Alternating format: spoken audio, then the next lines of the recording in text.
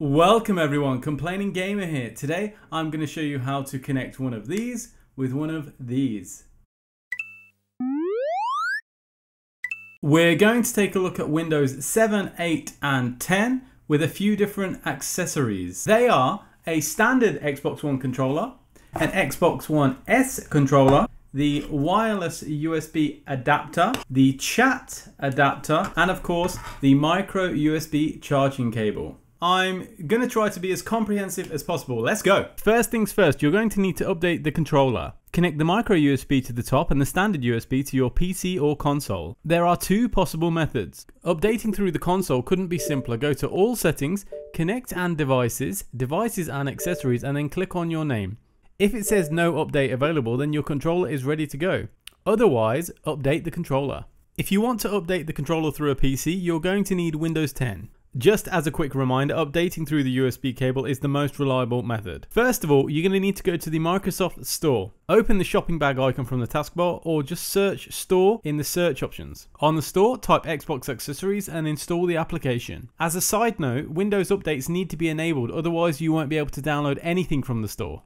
Once downloaded, open the application, it will automatically detect your controller and provide an update if necessary. Now that your firmware is up to date, let's take a look at the different options for connecting your controller to a PC.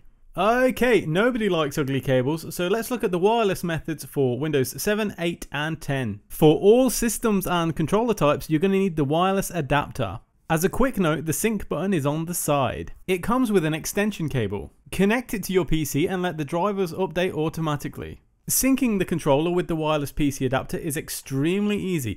Just take your controller, hold down the home button, then hold down the sync button located on top. It will flash a few times.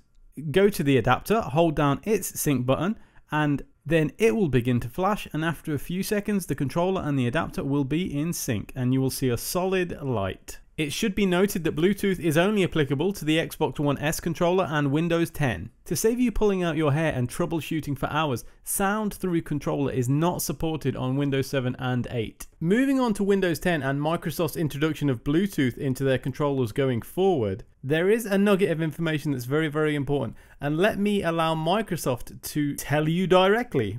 The controller doesn't support headsets or other accessories while it's connected using Bluetooth.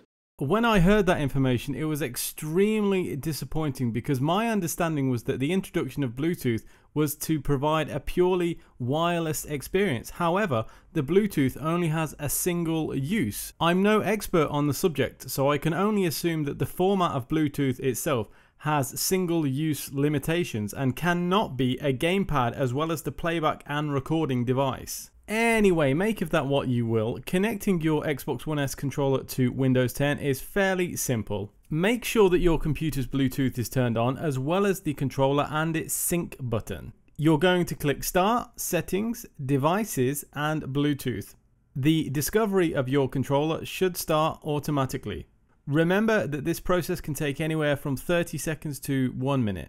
I'll provide troubleshooting links for any issues that you might have in the description below. Once discovered and paired, you are ready to go, but just remember there will be no through controller audio. If you want audio through controller, then you're going to need to use the wireless adapter. Of course, alternatively, in any one of these scenarios, you can use the USB cable. That goes for any model of Xbox One controller. Following the exact same steps as previously shown for syncing the controller and the wireless adapter, you can easily connect your controller to use also with sound and a headset of your choice, whether it be professional or just earbuds. The sound will work through a 3.5mm jack or the chat adapter. One thing to remember is you will need to go into the system sound settings and make a few adjustments.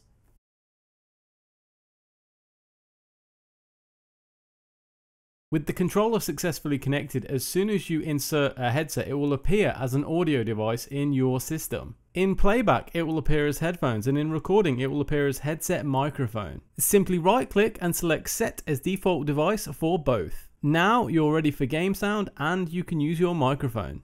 As previously stated, there is a plethora of potential issues that can occur, so I will provide troubleshooting links below that might help you out. Just as a quick obvious tip, if you're having issues with any adapter, try changing the USB port. For example, one of the many hiccups that you might go through is if you connect a wired cable to Windows 7 and you insert a headset, this happens.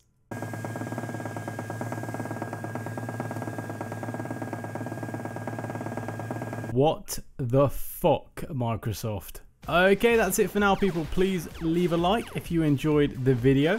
Of course, I love to interact with you, so leave a comment, leave your thoughts, leave your tips, suggestions, ideas, advice for everyone else out there, or even your questions, okay? I'll be happy to answer them. I'm always doing my best to produce interesting quality content for you people out there. So if you could show your support and subscribe, that would be greatly appreciated.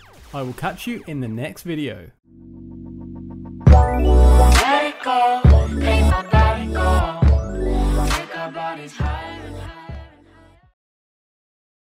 Did you get all that? Did you get all that, laddie?